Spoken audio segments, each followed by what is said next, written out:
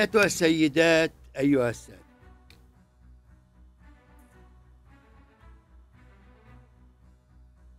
لماذا ينزع الناس نحو التصنيف؟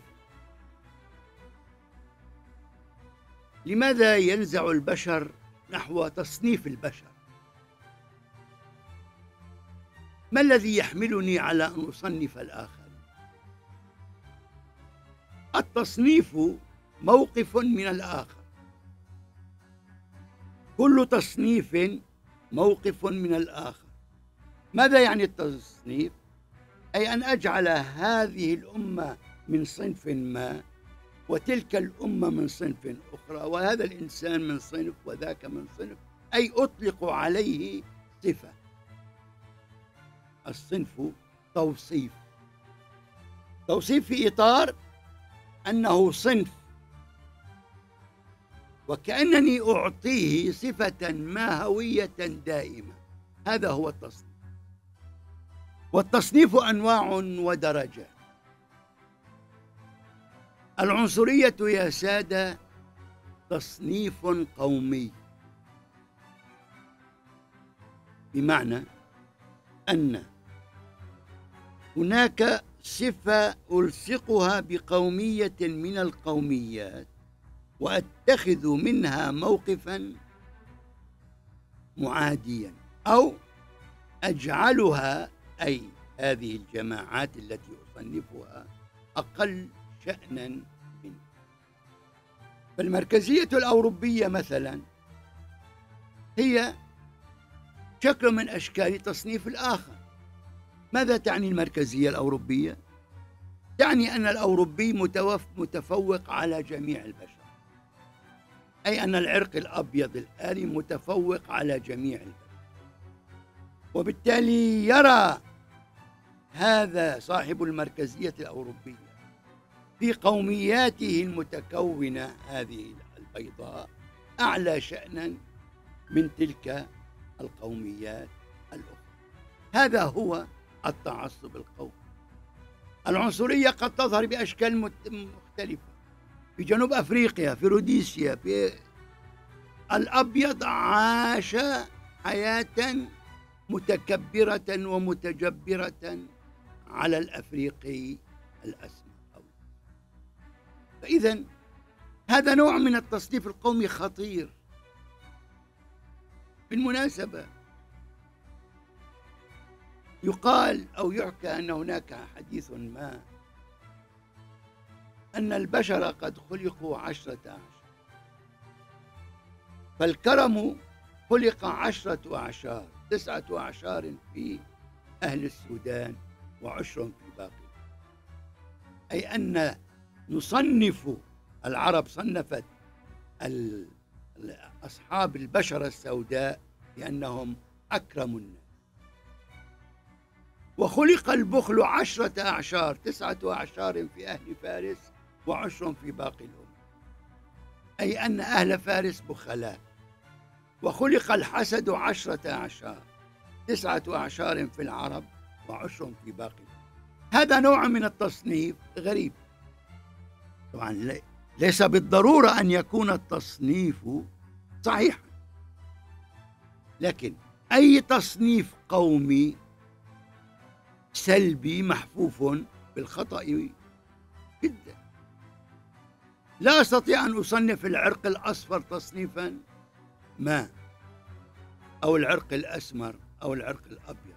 إنه هذول تصنيفات بالمناسبة ابن خلدون صنف البشر بناء على لون البشرة وبناء على الموقع الجغرافي. ومنتسك أيضا صنف البشر وأعطاهم صفات ما. يعني مثلا خلدون بيقول الشعب الأسمر أو الأسود أو الشعوب السوداء الأفارقة الذين يعيشون في المنطقة الحارة يتميزون بالكسل وإلى آخره. فيما الذين يعيشون في الأماكن الباردة يتميزون بالصلابة والقوة وأفضل الأقوام هم الذين يعيشون في المناطق المتوسطة ونحن أفضل الأقوام. نزعة نزعة عنصرية فالعنصرية التصنيف العنصري تصنيف لا أخلاق التنزيل. وخاصة إذا يعني توازى التصنيف العنصري مع الإقلال من شأن هذه القومية أو تلك. الصهيونية عنصرية. تصنف بشر. تصنف البشر على أنهم أدنى من اليوم. هناك نمط آخر من التصنيف خطير جدا.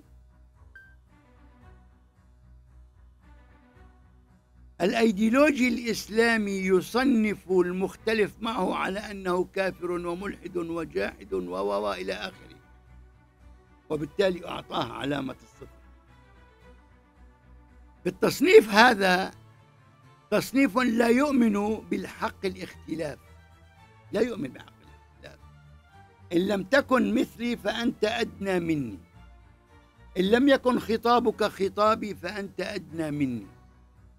مع أنه قد يكون هذا الذي يعتقد أنه ذاك أدنى منه يكون هذا الذي هو من وجهة نظره أدنى هو أكثر وعيا ومعرفة من صاحب التهم صاحب الاتهام. لا كل أيديولوجيا هي تصنيف. الأيديولوجيا الإسلامية تصنف الأيديولوجيا المسيحية تصنف الأيديولوجيا اليهودية تصنف. الأيديولوجيا الشيوعية تصنف كل أيديولوجيا القومية تصنف كل أيديولوجيات هي أيديولوجيات تصنيف في النهاية. والناس مولعون بهذا التصنيف. لا ندري لماذا. المهم في هناك التصنيف بناء على عالم القيم. من قيمه ليس بقيمي فهو أدنى مني. يقول لك أخلاق الغرب أخلاق بين قوسين التسيب وأخلاق الحياة الفوضوية الجنسية إلى آخره. وبالتالي لا نريد أن نكون على غرارهم. نحن لا نريد أن نكون على غرار أحد. الحياة تمشي وتسير. والغرب يصنفك على أنك متخلف. في الذي جرى في أوكرانيا. كان الأوروبي قال الأوروبي إن اللاجئ هذا لديه نفس البشرة وعيناه مثل آه، أعيني. فإذا وهو بالتالي مختلف. هذا لاجئ مختلف عن ذلك اللاجئ الذي جاء بالباخرة. ومترهل الثياب وجوعان. تصنيف ولكن أخطر أنواع التصنيفات هي التصنيفات ولقد طرحت في محاضرة سابقة عن ماهية الفرد هل يبقى الإنسان هو هو أم يتغير؟ أم أنني لكي أنال منه آخذ لحظة من لحظات حياته وأصنفه على أسد شخص أخطأ بحق آخر. طيب. هو أخطأ في هذه اللحظة بحق آخر.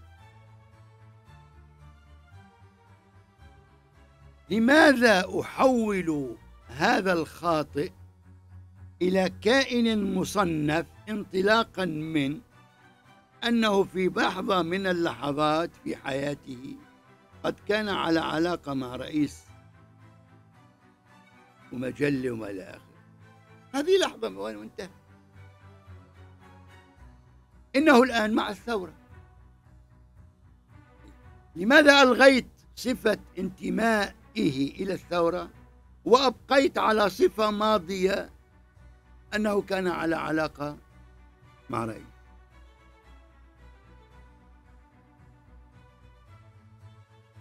الكائن لا نستط... لا يمكن أن يصنف تصنيفا جامعا مانعا. لا يمكن. لماذا؟ لأنه كائن متحول متغير. لا هل هناك معايير للتصنيف الآن بالمناسبة؟ كل معيار للتصنيف هو معيار آني. الآن الآن. أنا أصنف الكائن الآن. إذا رأيت شخصا ينتمي إلى الشر إلى الدكتاتورية أنا أستطيع الآن أصنفه بكل ثقة أنه شخص لا أخلاق. الآن هو شخص لا أخلاق. طيب.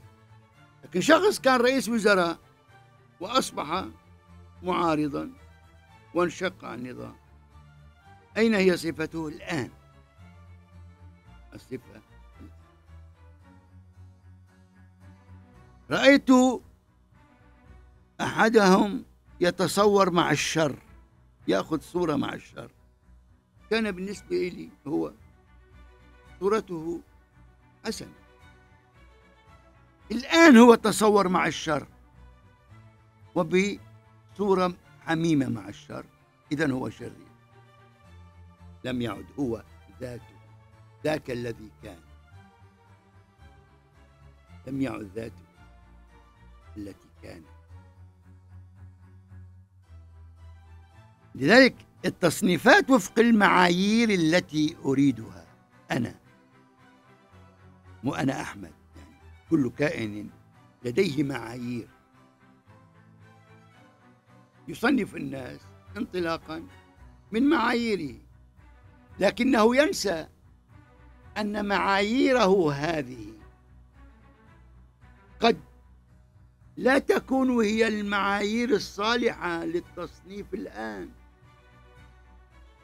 قد تكون صالحة تصنيفا قديم.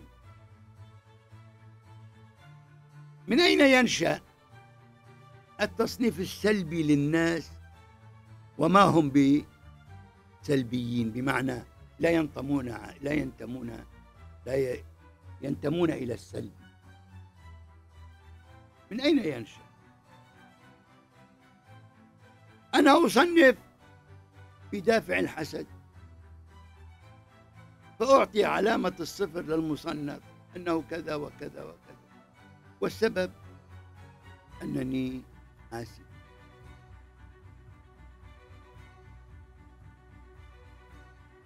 كنت بحاجته.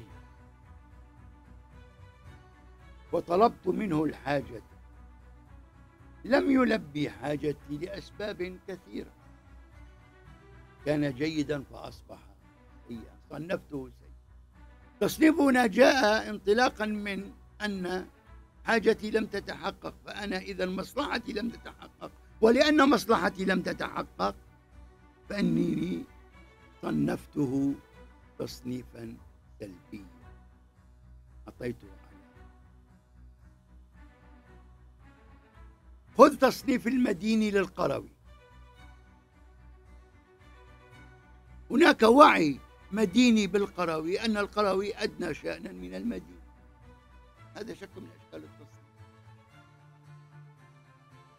خذ التصنيف العائلي. شخص كان ينتمي إلى عائلة بسيطة ثم أصبح شخصا مهما الوعي العام يقول هل نسي هذا الشخص هو من؟ لماذا؟ لأنه أعطاه التصنيف العائلة البسيطة السابقة وكأن هذه الصفة المهوية لا تزول إذا ما انتقل إلى حالة أعلى فكل التصنيفات تنطوي بالأساس على شيء ذاتي وشيء موضوعي الأسوأ أنواع التصنيفات هي التصنيفات التي تنطوي على موقف ذاتي من الآخر. أنا لا أحب البرقاوي فأصنفه على نحو ما أريد. أنا لا أحب حسين فأصنفه على نحو أنا لا أحب كذا أصنفه. التصنيف الموضوعي أي أن أطلق الصفة بناء على حالة موضوعية هو التصنيف الذي ينطلق الآن من الحالة الراهنة.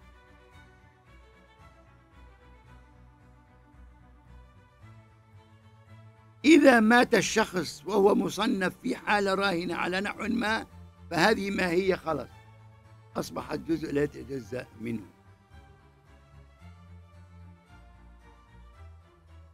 لذلك أساس الأخلاق للتصنيف يجب أن يكون موضوعيا وليس ذاتيا. الأساس الأخلاقي للتصنيف يجب أن يكون موضوعيا وليس فلا التصنيف القومي ولا التصنيف الاجتماعي ولا التصنيف الطبقي ولا التصنيف العائلي ولا التصنيف الفردي له معنى دون أن يكون واقعي هلا في ثقافات شعوب في أخلاق للشعوب نعم. قد تكون هناك شعوب تحب الحياة.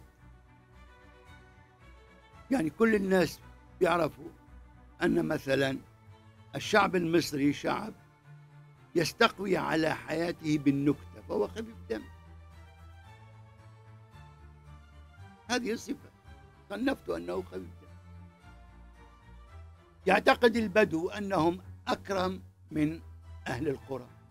هم صنفوا أنفسهم أكرم وصنفوا أهل القرى أبخر هل هذا موضوعي؟ إذا كان موضوعيا يعني كأننا نقول بجملة كلية جميع أهل القرى بخلاء فلان قروي إذا فلان بخيل وهذا لا يمكن أن يصح هذا شيء ذاتي. فكيف نتحرر من هذا الوعي الذاتي الناتج عن الحسد والكره. خذوا الكره. إن الكره أداة سيئة للتصنيف. إذا لم يكن الكره سببه موقفا وجوديا موضوعيا. يعني أنا أكره ذاك القاتل. هذا قاتل أكرهه أصنفه بوصفه قاتل. لأنه قاتل. هذا حكم موضوعي. لكن إذا كره كره شخص حسدا منه أو غيرة منه هذا كره زائف كره عمي يؤدي إلى تصنيف زائف وتصنيف عمي. والحقيقة التي نلحظها الآن في وسائل التواصل الاجتماعي وخاصة على الفيسبوك أن آلاف التصنيفات تقرأها لهذه الجماعة أو تلك لهذا الشخص أو ذاك. تكونون في حلقة واحدة من حلقات الكفاح تختلفون فيبدأ التصنيف. هو التصنيف حكم قيمة في النهاية. التصنيف حكم قيمة. لأنك تعطي قيمة للمصنف. هذا خائن. هذا انتهازي. هذا وصولي هذا كذا هذا كذا. وقد لا يكون هو لا هذا ولا ذا. لكن الوعي الذاتي به كاره حملك على عملية التصنيف. فحذاري من التصنيف. وخاصة أولئك الذين يصنفون المختلف معه من لا يؤمن بالاختلاف يصنف المختلف معه بأقذع الأوصاف وهو شخص لا أخلاق. من لا يؤمن بالاختلاف شخص لا أخلاق. وبالمناسبة إن هناك علاقة بين الذكاء العاطفي والأخلاق. هذا الذي يهاجم المختلف بأقذع العبارات فقط لأنه اختلف معه. هو شخص لا أخلاق. خالي خال من الذكاء العاطفي احذروا التصنيف أيتها السيدة. أيها